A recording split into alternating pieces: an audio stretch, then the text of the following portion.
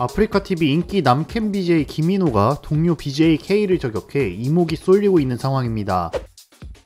BJ 김인호는 지난 22일 자신이 새롭게 오픈한 가게 오픈식을 생중계했는데요. 이날 동료 BJ들과 팬들은 가게를 방문해 그에게 축하 인사를 건넸죠. 특히 김인호와 평소 절친한 BJ K는 가게 홍보를 해주기 위해 그의 가게에서 동료 BJ들과 술 먹방을 진행했습니다. 그러나 김인호는 공지를 통해 K의 행동에 대해 불편함을 드러냈죠. 김인호는 23일 자신의 아프리카 TV 게시판에 가게 오픈식에 대한 감사 인사를 남기면서도 근데 오픈식에 방송 켜고 오는 건 어떻게 받아들여야 될까요? 조금 이해가 안 되네요. 라고 적었죠. 그러면서 BJ 김인호는 홍보는 X 빠는 소리를 하고 자빠졌네라며 그럼 나 도와주러 온 BJ들은 그냥 인가? 그냥 제 개인 방송국 공지라서 순순히 제 개인적인 생각을 쓴 건데 기분 나쁘신 분들이 있다면 죄송합니다. 라고 밝혔습니다. 이후 소식을 들은 BJ K는 자다 깼다. 쪽지가 너무 많이 와 있어서 공지를 적는다. 난 내 의도를 분명히 사전에 시청자들한테도 전달했고 솔직히 눈치도 보였다. 그런데 당사자한테도 말했고 허락도 받았다. 라고 반박했죠. 이후 김인호는 몇몇 부분에 오해가 있었다. 방금 K와 통화했다라며 들려오는 이상 이상한 소리에 저의 착각과 잘못이 있었다. 내일 만나서 얘기하기로 했다. 불편하신 부분이 있었다면 죄송하다라고 고개를 숙이며 상황을 일단락시킨 상황인데요. 하지만 해당 글을 본 네티즌들은 김인호의 행동이 섣불렀다며 비판적인 반응을 보이고 있는 상황입니다. 네티즌들은 온라인 커뮤니티 등을 통해 김인호는 이상하게 이미지 깎아먹네. 항상 술 먹으면 사건이 생기는 것 같네. 평소에 좋게 봤는데 이건 좀 민심 박살나니까 태세 전환.